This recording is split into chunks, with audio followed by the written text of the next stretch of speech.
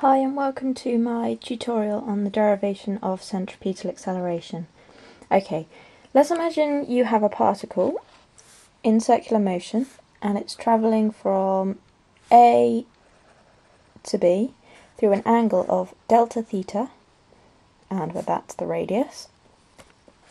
The velocity at A is v and the velocity at B is v dash. Okay, the first thing I'm going to say is that the magnitude of these velocities is exactly the same, so the speed of the particle is not changing. However, the direction is changing. As you can see, this velocity is going at this speed in this direction, and this one is going at this speed in that direction. So because the direction of the velocity is changing, then there must be acceleration, since acceleration is the change in velocity over time. So because there's a change in velocity, there is um, an acceleration, and the acceleration always acts towards the centre of the circle. Um, the other thing I'm going to point out is this delta x here. Um, as you can see, this delta x is an arc. The distance between A and B is an arc. But really, this delta x is considered to be so small that it's a straight line. You imagine if you were to um, like reduce the distance between A and B. So if A was here and B was here, then this delta x, rather than being sort of a curve, it would be a straight line. So you imagine this delta x is so absolutely tiny that it's considered to be a straight line, which means we have a nice triangle, which makes life a little bit easier when we get to things later. Okay, velocity is the change in distance over time. Now let's multiply through by delta t, so make delta x a subject. So delta x equals v delta t. But we also know that delta theta is the arc length divided by the radius, which is when the radius, sorry, the um, theta is in radians, because that is the definition of a radian, basically, that the the arc length divided by the radius will give us the theta. So in this case, the arc length is delta x, but remember that's so small that it's a straight line, so that's delta x divided by r. But we know that delta x equals v delta t, so let's sub that into here.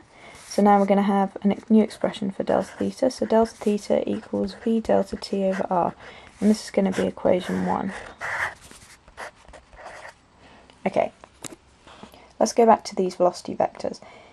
We want to know the difference in velocity between these two.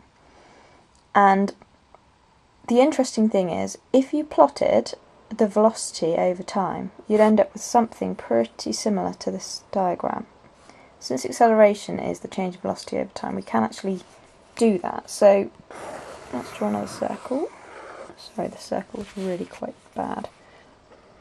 Okay, let's have a look here. We've got this velocity vector here at A, which is going to translate to be this one here. Is at A, and the one at B, B dash, will be about here. B. This is going to be at B.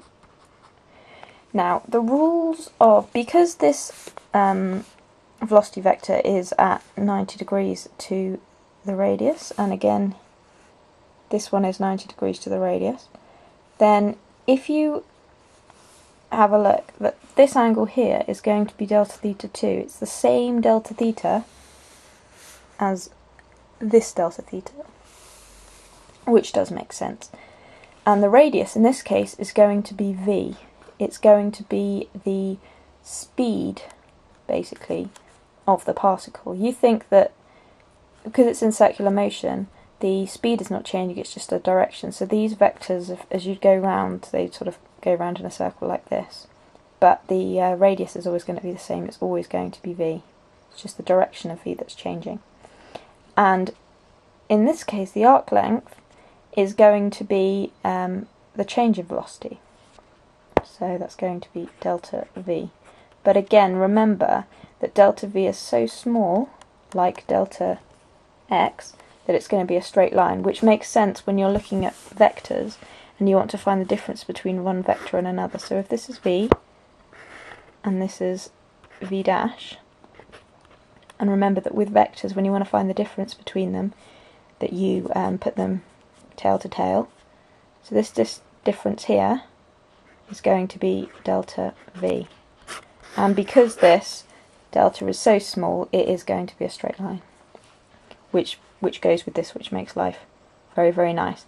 And we have an expression for delta theta, and that is that delta theta equals the arc length, which is a straight line in this case, which is going to be delta v from this delta v, over the radius, which we've already talked about, is going to be v.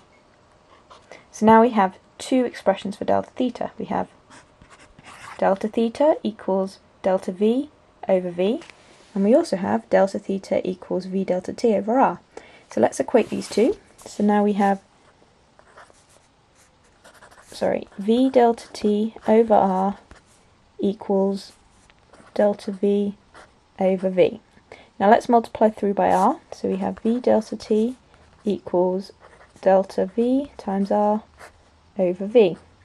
And now let's multiply through by this v. So now we have v squared delta t equals delta v times r.